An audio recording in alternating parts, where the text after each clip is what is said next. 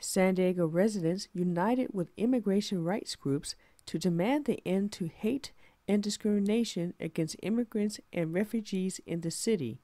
More than 100 people gathered at the county administration building Thursday night for a rally in support of Human Rights Day for refugees. Lots of work to do in San Diego too. You will get an opportunity to hear from some of the resettling, the resettlement organizations that work with refugees. And so we still have work to do in San Diego to make sure that when refugees come into our community that we not only welcome them and support them, but that we integrate them into the fabric of our community. So we're going to be working with um, local city council, working with the county board of supervisors to see what else can we do to be more welcoming.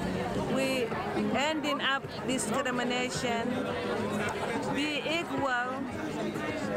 and sister, peaceful, because we come from a war. We don't want any bad happen here.